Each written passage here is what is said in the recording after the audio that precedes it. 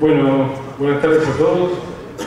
Como no podía ser de otra manera, el primer foro comercial eh, organizado por FEBA, agradecemos infinitamente la presencia del presidente del Banco Provincia, el doctor Juan Culuchet, que bueno, en los momentos que se viven, también todos tenemos la necesidad de, tener una visión actual del banco más importante de nuestra región. Así que, eh, Juan, adelante.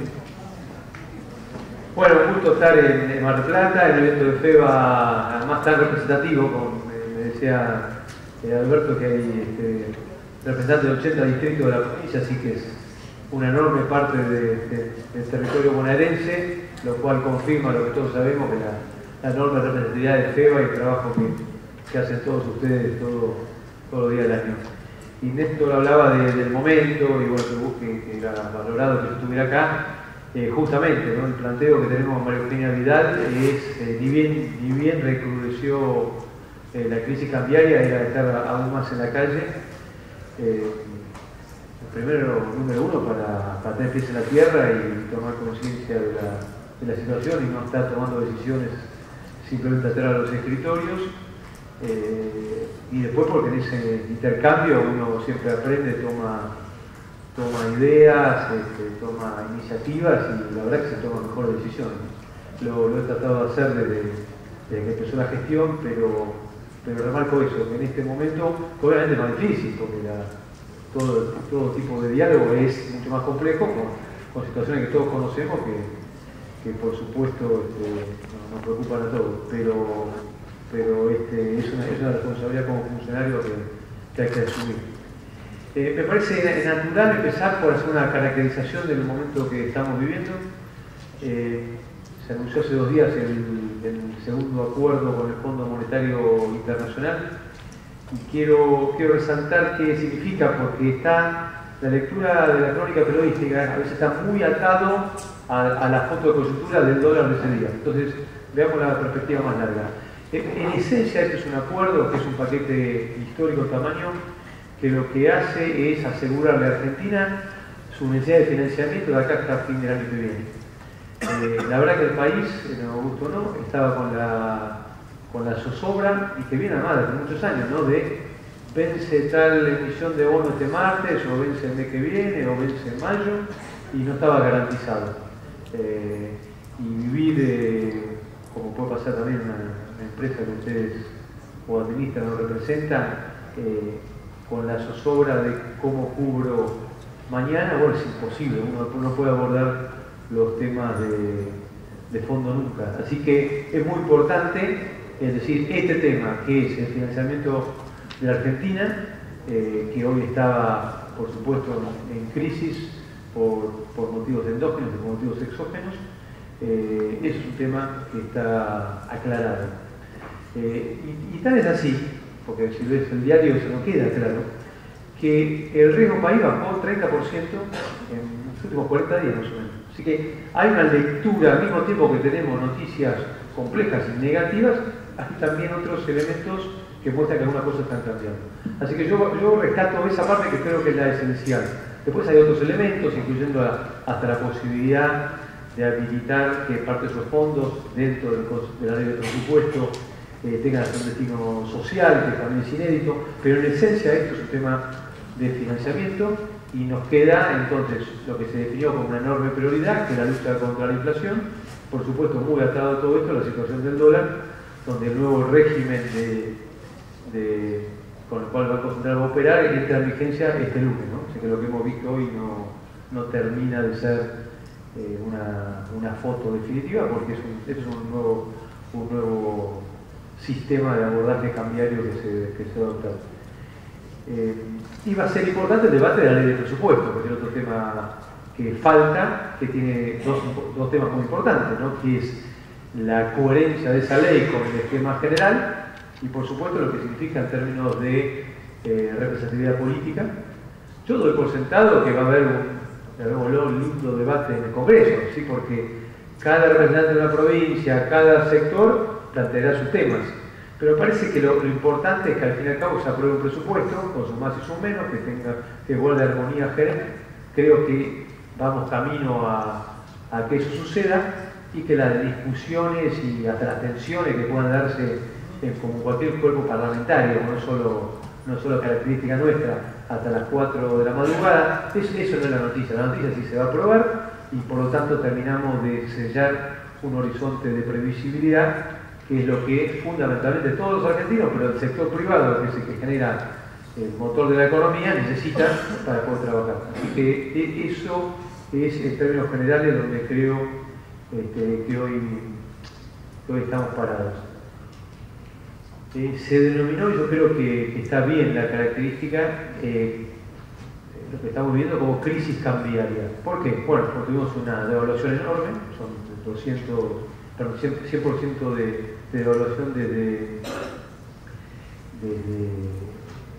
este, lo que va del año, pero tiene una ramificación, una importancia eh, en, lo financiero, pero curiosamente los depósitos en pesos siempre estuvieron subiendo. Así que ni por un segundo hubo, llamémoslo, una corrida contra el peso, hubo una, amenaza este, donde la desconfianza, es una desconfianza respecto del peso, que se refleja en la tasa de cambio, pero respecto del sistema. Y en dólares, a pesar de la magnitud de la evaluación, Solamente en la semana donde se, pegó el gran salto de 30 a 40, que naturalmente todo el mundo hacía crédito a todo tipo de rumores y, no, se, sabía dónde podía ser la cosa, en ese momento hubo una cierta disminución de los depósitos en dólares del sistema bancario. Y, ya hacia mitad de la semana pasada se había recuperado por entero eso. Y hoy el sistema bancario tiene más dólares que al 31 de diciembre de 2017. Estamos hablando de 30 mil millones de dólares depositados en los bancos. Entonces, puede no ser de gran consuelo cuando tenés, como hoy, tantas restricciones en el acceso al crédito. Pero lo que quiero marcar es que los argentinos no hemos aprendido mucho de nuestras experiencias. Sino la tendencia es a cortarnos las venas de que siempre está todo eh, tremendamente mal. No, estoy en absoluto negando las dificultades actuales pero el hecho de tener una, crisis cambiaria tan profunda como el 100% de evaluación y no tener desconfianza en el sistema bancario es relevante, porque imagínense lo que hubiera sido eh, si esto no se así. Y esto es, un mérito colectivo, es producto de que la regulación bancaria ha ido mejorando sensiblemente desde el 2001, porque aprendimos. Número uno, lo más sano e importante, solo se puede prestar dólares al que genera dólares.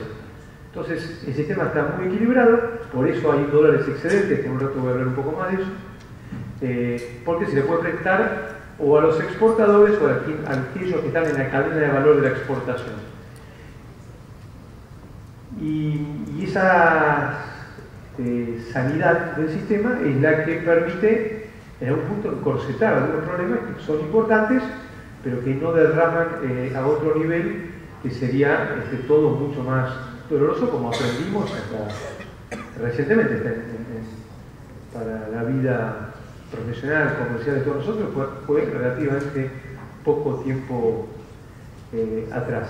Por supuesto, nada gratis, esa, desconfianza del 2001-2002 eh, nunca volvió al 100%, el sistema bancario del mercado de capitales argentinos, si bien es solvente, como dije, también es muy pequeño. Ese 15% de la, de la economía, cuando en Perú es de 30, en Chile del 80, y por, supuesto es, uno de los grandes eh, temas pendientes nacionales, es decir, el desarrollo de un país cuando su sistema de crédito es este, raquítico, bueno, es, todo mucho más difícil. Lo, viven, lo conocen, pero no, no, se lo voy a explicar. Pero rescatemos el segundo atributo, que es la solvencia. Porque si el país consigue, como creo que está sucediendo, eh, dificultades que son muy, muy importantes con temas, este, algunos de, larga data, y logramos resolverlo sin una ruptura de la regla de juego, eh, al final la lectura social va a ser positiva. Eh, la, lectura, la lectura de pasar por esos tránsitos tan difíciles, sin rupturas institucionales, sin alteraciones, eh, del esquema de del juego eh, termina siendo muy importante. En los bancos básicamente estamos en un negocio de confianza, si no confianza es imposible. Y lo, ustedes eh, en la mayoría de los casos también es así, y la palabra del comerciante o del empresario en definitiva es mucho más importante que el contrato. Eh, entonces, eh, que, en el país veamos que, las tensiones se pueden manejar dentro de las normas y dentro de los contratos eh, es valioso. hoy estuve más temprano en un canal de televisión y me preguntaban por el tema de las uvas, porque naturalmente quien tiene que pagar una cuota está viendo cuánto le sube de más. Y, yo remarcaba que la normativa establece cómo se saca esa tensión. Se puede prorrogar plazos y capear o poner un tope eh, a, la, a, las cuotas, llegado el caso, si se disparan los presupuestos para eso. Y lo remarco en el sentido de que si logramos manejar las tensiones dentro del esquema de reglas, como prevé nuestra legislación, hasta, hasta, incluso la figura de emergencia que la legislación puede contemplar, pero siempre en un, en marco de discusión racional de qué está pasando, qué se puede hacer, pero no de inventar la rueda y volver como el juego de la boca para atrás. Así que yo creo que la lección más importante del 2018, cuando la miremos 4, 5, 6, 7 años, es este desafío de, pasar por una situación muy compleja, un tema que es profundo, y encontrar un cauce eh, en un diálogo democrático, civilizado, eh, con todos los sectores eh, participando. Mencioné el tema, el tema de los dólares en los bancos. Entonces es, paradójico que en un momento donde parece que todo pasa por por la cotización del dólar, tengamos 15 mil millones de dólares ociosos en los bancos. Eh, como el sistema permite, como les dije, prestarle solo al que genera dólares, de los 30 mil millones de dólares que están depositados, 15 mil están aplicados, los otros 15 mil millones de dólares no están aplicados. Eh, la suba estos dos años y fue importante, pasó de 3 mil millones, que era prácticamente nada, a 15 mil, así que se, multiplicó por 5, pero se podría duplicar todavía eso, dentro siempre manteniendo una sana y prudente regulación, no estoy pretendiendo cambiar nada. Lo que digo es que eh, la situación actual, como causa profunda, tiene dos motivos, déficit fiscal crónico y déficit de cuenta corriente. De la cadena de Mar del Plata en un evento eh, organizado con, con, la ciudad de Málaga de España, bajo el título de Transfiere, que justamente está contando la experiencia de España y, España, hace muy poco, de 10 años atrás, tuvo una crisis que en proporción yo creo que va a terminar siendo, cuando termine todo y comparemos, más profunda que la que está hoy transcurriendo en la Argentina, que tenía también un tema exógeno y un tema endógeno. Estaba la caída de Lehman Brothers y toda la burbuja internacional, y los desequilibrios de España, con los excesos de gasto y la burbuja, que al combinar generó una situación muy, muy, muy compleja este, la cual empezaron a salir hace muy poco. Eh, y ahí España se miró para adentro y, advierte que aún habiéndose integrado la Unión Europea, sigue siendo una economía muy cerrada. Y que las pymes básicamente le vendían a, a los españoles y hasta ahí terminaba el, el, mundo. Y hoy España, después de 10 años, con una con cierta orientación de política pública, pero también con una gran respuesta del sector privado, eh, tiene 100.000 pymes más exportando, de, de 50.000 eh, firmas exportadoras pasaron a 150.000. Y España, en proporción a su PBI, es el segundo país de Europa después de Alemania eh, como, como jugador de, de, exportación. Así que cuando vemos los números que han mejorado, en parte porque esto dio respuesta a algunos de los problemas troncales de España que ya no están dependientes de la remesa que Bruselas demandaba, como había sido hasta hasta hace 15 años atrás. Entonces, ese es un camino que, más allá de que, de que España tenga esta característica de estar, ser Estado miembro de la Unión Europea, pero el 50% de nuestro ADN es español, o sea, si lo, si lo pueden hacer ellos, no veo por qué no lo podemos hacer nosotros. Yo creo que es un, una prioridad nacional eh, aumentar la, las exportaciones. Creo que tenemos que regenerar un, una cultura exportadora. Y cuando hablo de esto, no es solo industria, ¿no? es es también servicios, en la industria del conocimiento, eh, y todo esto, porque como siempre cada crisis también ofrece oportunidades, un tipo de cambio del nivel que tenemos competitivo hace que la, la, oferta de servicios de calidad que Argentina puede brindar, eh, bueno, realmente tenga, tenga, un rol en el mundo. ¿no? Eh, me acuerdo en estas reuniones sectoriales que hacemos, cuando estuve en La Plata hace 40 días, de las 20 firmas, tres eran productores de software. Entonces, hablar con ellos y hablar con gente era otro planeta. La preocupación de ellos que le robaban los recursos humanos y que con un dólar a 40, entonces los chicos que trabajaban en las compañías me dijeron que había unas 80 empresas de software más o menos o del rubro en, La Plata, bueno, podía ir freelance a su casa trabajar offshore para Alemania, total, le daba, muy bien y, la empresa perdió un recurso valioso. Así que, eh, pero eso es un tema que, realmente es una oportunidad muy interesante para Mar del Plata como plaza, para lugares como Tandil que se han especializado en el tema, para, para comunidades chicas que si no quizás desde un lugar de, de 3.000, de 5.000 habitantes nunca podías imaginar que tu horizonte era el mundo. Y hoy la verdad que la frontera es global, o sea, es todo el planeta Tierra, eh, porque se abarataron tremendamente los costos de comunicarte, vincularte, aprender, este, comerciar. Eh, así que bueno, eso es algo que tenemos que mirar todo, también el banco, porque el banco, ¿qué hace tradicionalmente? Ve la hoja de balance, ve el patrimonio, y, una empresa de servicios o profesionales quizás no es tan relevante el, patrimonio neto, son, son otro tipo de análisis crediticio, otro tipo de figuras. Eh, pero lo tenemos que hacer porque el país necesita, para no, no, caer en la volatilidad macroeconómica constante, realmente generar más dólares genuinamente. Eh, así que creo que la, eh, si algo que está sucediendo también en este momento es que estas medidas, con todas las dificultades del tránsito que, hoy tenemos, están tocando esos dos temas que yo mencioné, o sea, déficit fiscal, con un programa tremendamente severo, ¿no? Déficit cero. Y la cuenta corriente, con, primero porque por la consistencia del déficit cero, y segundo por una paridad cambiaria que no, no alienta, este, como fue hace poco, eh, el turismo externo y compras externas que quizás no son bienes de capital, que es lo que más nos interesaba, creo que, eso naturalmente ya, este, lo vamos a estar viendo estas semanas, empieza a generar un equilibrio mucho más eh, virtuoso.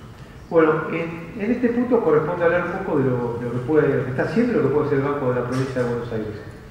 Eh, al inicio de la crisis cambiaria, la gobernadora de la provincia, María Eugenia Vidal, anunció un paquete de, medidas eh, orientadas básicamente a las pymes, de 11.200 millones de pesos, en algunas líneas en dólares, algunas líneas en pesos, algunas líneas de inversión dentro de pesos y otras en, en descuento de cheques. El descuento de cheques en particular anunciamos el 29% eh, para las pymes y eh, establecimos un cupo de 2.500 millones de pesos. A la fecha de ese cupo se agotó, de hecho colocamos 2.900 y además adicionalmente firmamos un convenio con el Ministerio de Producción que nos dio tres puntos de subsidio y lo extendimos y a un cupo adicional de 5.000 millones de pesos, que llevamos colocado 6.000 millones largos de eso. Eh, ahora el Ministerio de Producción está viendo qué tipo de, asistencia puede brindar, creo, creo que supongo que en 10-15 días vendrá con algo, pero mientras tanto el banco va a seguir con esta idea de tener eh, una tasa de descuento eh, a pymes sensiblemente más baja que la, que la del mercado. En el paquete de medidas que anunciamos, ¿qué ocurrió? Que el mercado naturalmente, porque la, situación de estrés financiero es obvia, buscó mucho eso, hubo mucho menos interés en la línea de inversión, Así todos estos tiempos generamos o financiamos 400 proyectos de inversión en, toda la provincia, por un total de casi 600 millones de pesos, pero eh, podría, en la expectativa inicial, si quizás hubiera tenido más movimiento, lo descuento del cheque eh, algo menos de, movimiento. Así que en la medida de las posibilidades del banco, que somos el, 10% del sistema, no somos el 50%, eh, entendemos que la, en un mundo de restricciones y recursos limitados, nuestra prioridad eh, son dos. Por un lado, algunas medidas más de consumo y por otro lado, en la línea de descuento de cheque, pensando que eso eh, contribuye, por lo menos por una parte de la pymes bonaerenses, a este, bajar el estrés financiero en alguna proporción y directamente este, apuntalar un poco el nivel de actividad y el nivel de empleo.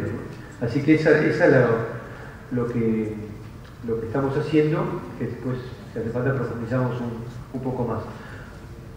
Por supuesto, estas medidas son posibles por una medida inicial, que es una, definición política de la gobernadora al inicio de la gestión, que fue no pedirle plata al banco.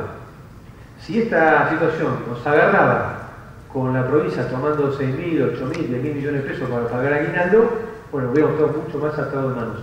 Desde que asumió María Eugenia Vidal, al Banco de la Provincia no le pidió un centavo. En términos de moneda constante, bajamos mucho la exposición al sector público. Si el gobierno provincial nos debía, cuando nos toca subir, 30 mil millones de pesos, que era tres veces el patrimonio neto de la entidad.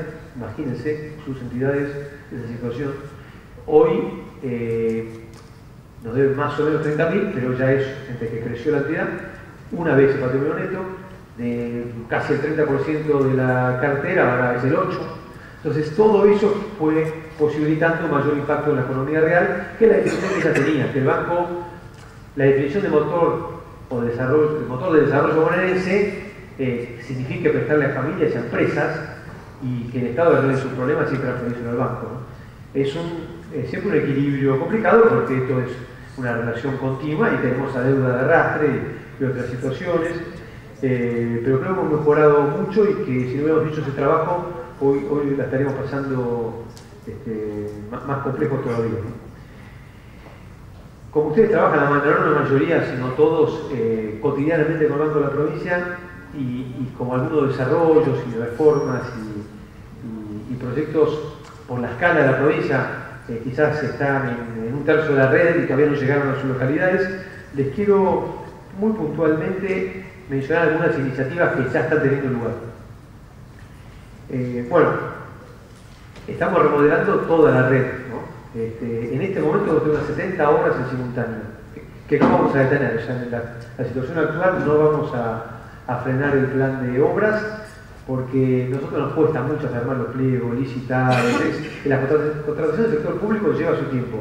Si si por seis meses vamos a frenar, después nos cuesta, nos cuesta eh, muchos esfuerzos, se necesitan y, estamos casi semanalmente lanzando una o dos remodelaciones. En Mar del Plata una obra importante que es la nueva sucursal de Constitución, compramos un terreno, no va a ser solo la sucursal, sino que mudamos toda la cabecera de pase de fondo donde van los blindados, que están las peatonales de San Martín, que es medio totalmente anacrónico, digamos, estar moviendo plata en el centro de Mar del Plata, lo vamos a llevar a, Constitución, que además nos había quedado totalmente chica la, la sucursal. Pero este, si nos agarra uno a uno, prácticamente en todos lados hay obra y hay 80, 80 de las 420 unidades de negocio del banco que ya estaban remodeladas previo a que yo llegara, con lo cual por eso por ahora esperará.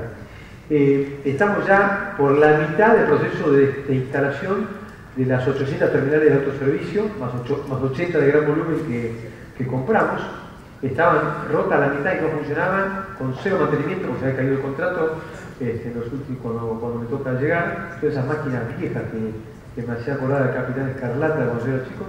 Eh, ahora tenemos una máquina mucho más eh, moderna, con muchas más funcionalidades, que nos va a sacar, como está de hecho sucediendo, mucha gente de la fila de la, de la caja, porque un montón de operaciones de depósito, de pago, de lectura de resúmenes, lo van a poder hacer en en estas terminales. Eh, al mismo tiempo estamos ya en, la, el testeo concreto, concreto, en la sucursal concreta, que, es en, la ciudad de Buenos Aires, del nuevo sistema de cash management, que para que haya operatoria de, cheques, sea de descuento, sea de llevarlos, le va a, ahorrar una enorme cantidad de tiempo, le va a facilitar la vida y le va a ser más atractivo trabajar con el banco, que también es un, un objetivo, ¿no? Eh, van a ver en pantalla los cheques, van a ver la tasa, van a ver el plazo, si les gusta dan clic, si no les gusta lo dejan pasar. Eh, y el que no quiere la sucursal, en uno de los módulos que vendrá dos meses después, lo escanean, lo manda y se evita tener que ir a hacer la cola para llevar un, cheque. A nosotros nos liberan horas hombres, yo creo que más o menos 700 personas que lo dedicaremos a actividades este, con más valor agregado, que la carga, el tipeo del cheque que se carga cuando lo dejan, se carga cuando lo procesan y después te equivocaste, te pusiste un dígito mal. ¿no? Así que ese cambio va a tener un, impacto muy importante, sobre todo para el mundo de las pymes, y además no va a ser muy competitivo, porque es el mismo sistema que tienen los bancos líderes en, esto y que, da una barrera, porque es un tema, una diferencia de calidad de servicio que éramos conscientes que, que arrastrábamos. Eh, a nivel de la banca de individuos, en pocas semanas vamos a tener lo que se llama el onboarding digital, que es que no, no tengas que ir al banco para abrir una cuenta, pero lo hace con un sistema de autenticación que también puede, estar en el teléfono. Eh, ya hoy se inscriben, se hacen, miembros de nuestra banca por internet, del home banking, que lo llamamos BIP, eh, 2.000 clientes por día. Y la banca por celular, 600 por día. Así que en el transcurso de esta charla son 80, 100 clientes más, básicamente que migran ¿no? de, de, los métodos tradicionales a, a, estos medios digitales. Por supuesto, el Banco Provincia, el Banco Nacional, la banca pública, vamos a, seguir conviviendo con dos realidades, ¿no? un público más sofisticado, que además este, no, ve la hora de que lo digitalicemos más, y este, eh, mi mamá, como que no, jamás va, a usar el teléfono para, para hacer su servicio bancario, pretende ir al banco que, que alguien le explique. Así que esa dificultad la vamos a tener, yo no pienso que vamos a un banco provincia usted vaya mañana y no haya nadie, pero eh, sí que el canal de atención a los cuentacorrentistas, a las empresas, a, aquellos que están pagando un, sueldo, nos están dando de comer y que si, si tenés una hora y media, dos horas simplemente para, hacer un trámite, eh, le sale muy muy caro en, en, Argentina de hoy. Así que todo aquel que quiera abrazar estas oportunidades le va a tener mucha mejor experiencia este, como cliente. ¿no? Y ya, ya renovamos 250 cajeros automáticos, estamos encargando una licitación para 600 más. Eh, estos son como los automotores, vos no cambias el auto a 14 años, te rompe cada 2 por 3 y te sale más. Bueno, ese es el parque que a veces tenemos. Cambiamos una parte que nos falta cambiar y vamos a ampliarlo eh, también. Si es una gran demanda de la gente que haya más cajeros, nos gustaría que otros bancos también contribuyeran en esto, pero, pero este, no vamos a reunir nuestra responsabilidad. Y, quiero, este, para terminar, para después pasar a Néstor a, la, a las preguntas que haya, eh, quiero cerrar con lo siguiente. La visión que tengo de la siguiente etapa del banco, eh, lo, que estoy esperando, y por eso me interesaba este diálogo con FEBA, es que los centros zonales ejerzan un liderazgo por el cual la sucursal nuestra de cada localidad, piensen que en 123 localidades somos el único banco, eh, puede establecer una relación de reciprocidad perdurable a muchos años vista con todos los comercios tradicionales de toda la vida, que son todos los socios de ustedes que están en esas localidades. Entonces podemos planificar con mucho más anticipación, Día de la Madre, inicio de clase, Navidad, Día del Niño, Semana Santa, y, y ya imaginemos qué ofertas hace para juguetería, ferretería, este, eh, comercio, restaurantes, entretenimiento, en una relación más de ida vuelta, porque si no siempre estamos corriendo, o sea, nosotros venimos tres días antes, o el comerciante ya tiene compromiso con otro banco, ya no pudo prever. Y, la verdad que uno aprende a lo largo de los años que cuando apostás a una relación a más largo plazo, de ida vuelta, es mucho, es más redituable. Y, y, los bancos estamos pidiendo, han escuchado mucho esta palabra, reciprocidad, ustedes también la, la necesitan y la merecen. Entonces yo creo que hay que hacer una agenda de trabajo, que la tenemos que descentralizar, desde la conducción del banco y quizás el diálogo con FEBA en las de pautas generales y después descentralizarla para que nuestros 12 jefes institucionales lo trabajen con toda la red y que eh, tenga mucha capilaridad las promociones que tiene el banco. Así me, me pareció que había un costado de algún modo de desperdicio de oportunidad en lo que hacemos nosotros. Eh, estando en un territorio tan grande, con 16 millones de habitantes, si vos largás promoción de restaurante, largás promoción de farmacia de o de perfumería y no podés tener 80 locales o 200 locales. Tenés, que buscar en... Yo recibo muchas veces la crítica, muchas veces de, sus entidades de sadería, me parece una crítica válida. Y además me parece una enorme pérdida de, oportunidad recíproca. Así que la, como agenda de trabajo, este, Alberto y a, todos los representantes de, de entidades, me parece que eso tenemos que trabajarlo. No va a ser fácil, vamos a discutir y pelear el banco mutuamente, pero es una cosa muy constructiva este, que además va a beneficiar juntos muchos a nuestros clientes y que en definitiva este, el banco es el banco público, el banco de los bonaerenses y se legitima la medida que su cliente lo valore y que sienta que, que, le marca una diferencia. Así que ese sería el norte de lo que quiero lograr en el contexto complejo, difícil, este, en el 2000, lo que queda 2018 y sobre todo 2019. Muchas gracias.